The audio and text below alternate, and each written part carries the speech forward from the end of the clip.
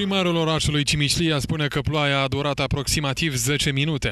Era grândină, dar era moale. Ea se, se ferma deodată. Este un fenomen foarte straniu și niciodată n-am, n-am întâlnit așa ceva în perioada aceasta. Chiar am fost surprins și mi-era interesant ce cu florile la, la pom, la... dar parcă nu observăm. Au fost dezbătuți foarte mulți petale pe jos, dar poate, că, poate să nu fie un efect foarte grav. Autoritățile urmează să verifice dacă grindina a provocat pagube. Reprezentanții Serviciului Situațiilor Excepționale spun că au fost solicitați în acest caz.